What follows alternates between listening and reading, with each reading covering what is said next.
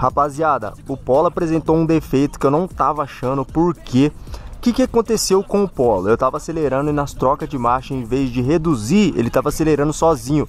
Esse problema aí muitas pessoas vão ter, né? E muitos não sabem o que resolver, né? O que peça que é. Muitos vai levar em mecânica, não vai descobrir. E hoje eu vou mostrar para vocês o que, que é o que, que pode causar isso no seu carro. E perca de potência, é, nas trocas de marcha, em vez de reduzir, ele acelera. Cara, esse defeito eu vou te mostrar, rapaziada. Salve rapaziada, firmeza total, sejam todos bem-vindos a mais um vídeo Rapaziada, hoje eu tô começando um vídeo pesado pra vocês Um vídeo muito informativo pra vocês que tá sofrendo com o problema aí que tá acontecendo no seu carro O que que acontece? Quando você vai trocar de marcha ali você, em vez do carro reduzir, né? Ele vai ban, e a hora que você troca de marcha, em vez dele reduzir, cair a aceleração, ele tá aumentando a aceleração junto. O que que pode causar isso, rapaziada? Muitas pessoas estão atrás, muitas pessoas não sabem o que pode causar esse defeito e hoje eu vou mostrar pra vocês. Esse daqui é meu Polo 2008, hoje a gente tá começando o primeiro vídeo do ano em 2023, né? Primeiro vídeo com o Polo e hoje eu vou mostrar pra vocês um defeito que tá acontecendo que bati muita cabeça aqui pensando que era parte de aceleração, parte de embreagem ruim e fiz o teste de embreagem, que qual que é o teste de embreagem? Pisa na embreagem, solta o acelerador e deixa o carro andar sozinho. Se ele andar sozinho não é problema na embreagem.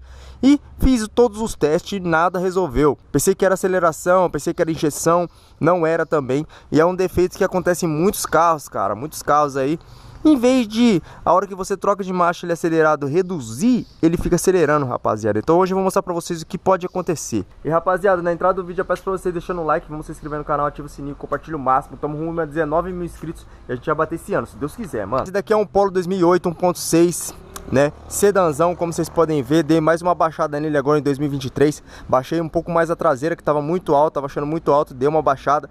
E vou mostrar para vocês um defeito que acontece em vários carros aí, não é só no Polo, não é só em carro da Volkswagen, assim como todos os carros. Em cima da embreagem desses carros aqui, ele tem um sensor, rapaziada. Eu vou mostrar para vocês o sensor que é. Em cima aqui, rapaziada, ó, não sei se vai dar para ver, mas eu acho que vai dar para ver sim, ó. Tá vendo? Ele tem um sensor em cima do pedal da embreagem.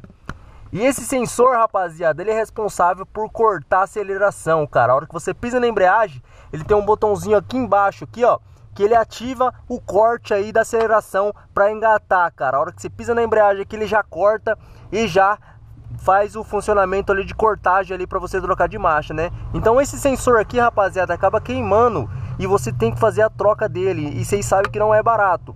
Mas existe uma soluçãozinha também para aguentar aí até você tá resolvendo, né? Que é tirar, se você tiver uma máquina de solda, soldar alguns pontos aqui dentro, porque dá, né? Ou simplesmente trocar, ou andar com o carro aí acelerando até você comprar outro. Não vai interferir em nada, a não ser o alto consumo do seu carro. Então, rapaziada, como vocês podem ver aquele sensor ali, ó, aquele sensor ali é responsável aí por corte de acelera, por corte de aceleração, cara. Ele corta a aceleração para vir o para engatar o carro, né? E esse aparelhinho ele fica em cima da embreagem. Se você abaixar aí debaixo do seu carro, aí você vai identificar ele. Fica bem embaixo aqui, em cima do pedal da embreagem. Ele faz o corte de aceleração. Rapaziada, vamos fechar aqui o capô e vamos sair num carro vlog para vocês entenderem um pouco mais do que está acontecendo aqui no meu carro.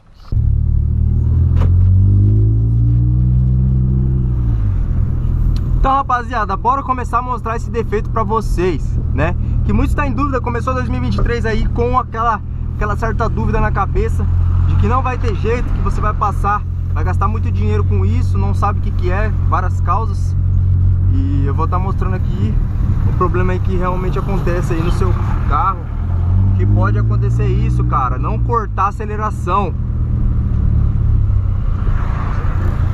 Rapaziada, isso acontece por vários fatores, né, cara?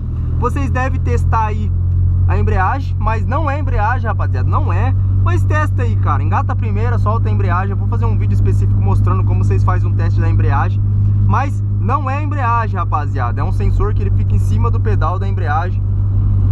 E aí acaba acaba acontecendo esse defeito no seu carro aí que identifica como que não tá cortando, a aceleração tá passando direto, ele não tá resolvendo nada.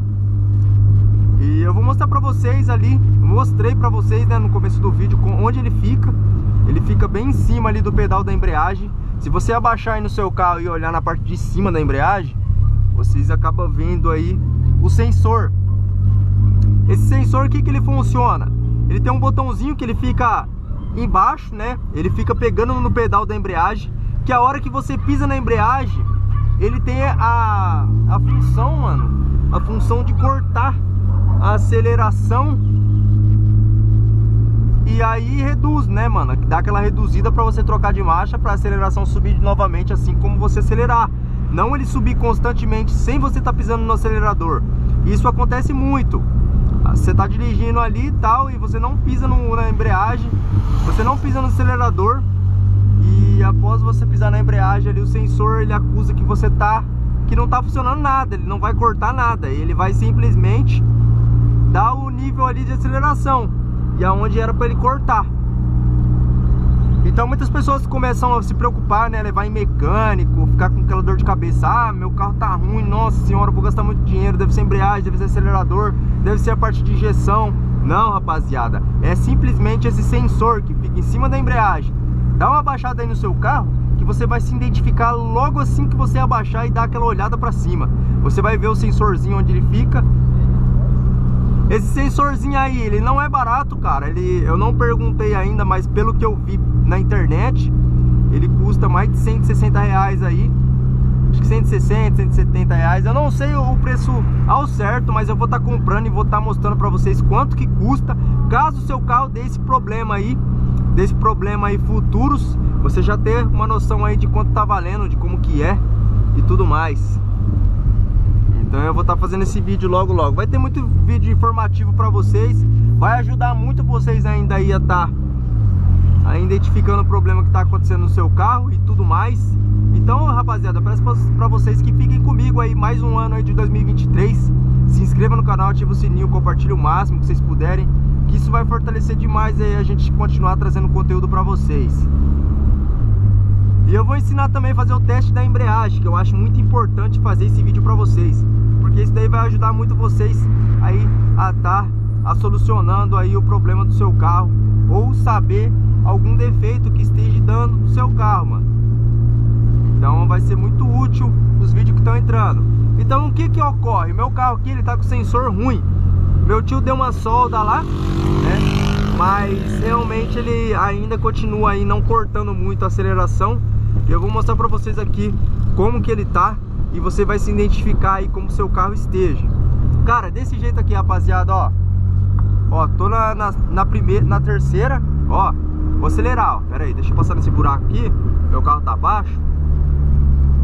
Ó, rapaziada, ó. Vou acelerar, ó. Ó o de marcha, ó. Olha lá, ó. Em vez de dele descer com tudo, ele só dá uma subida. Não tá subindo muito porque foi feito aí uma soldagem por dentro. Que não ficou 100%, mas ele ajudou. Perde muita potência também se esse aparelhinho que fica em cima da embreagem ele, ele faz o seu carro ficar tropicando, perder potência também.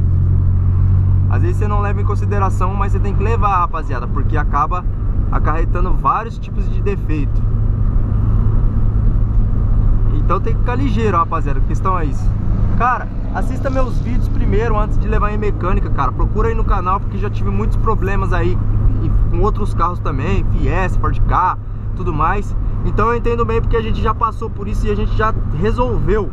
Então vai ajudar muito vocês aí a conseguir realizar aquele, aquele progresso no seu carro, aquela manutenção preventiva que às vezes nem precisa ser levar no mecânico, mas você está levando por medo. Então aqui vai te ajudar muito, rapaziada. Então eu peço para vocês que fiquem comigo aí, fortaleça. Se você tiver alguma dúvida, ou querer saber sobre alguma coisa, algum assunto específico, que não que você às vezes não tá encontrando na internet, se perguntem pra mim, mano, porque às vezes eu já passei por esse problema. Esse problema aí eu vou estar tá solucionando pra vocês, mano. Então, rapaziada, compartilhe o máximo que vocês puderem, fortaleça demais o canal, se inscreva, ative o sininho, compartilhe. Estamos rumo a 19 mil inscritos, a gente vai bater logo, logo, se Deus quiser, tô ralando muito pra isso. A gente vai chegar, mano. 2023 vai ser um ano de muito progresso, vai ser um ano de muita vitória. E a gente vai conseguir muitas coisas ainda. Então, é isso aí, rapaziada. Vamos ficando com Deus. Obrigado por tudo, de coração mesmo. Agradeço vocês. E tamo junto mesmo. Fortaleça demais, rapaziada. Compartilhe o máximo que vocês puderem.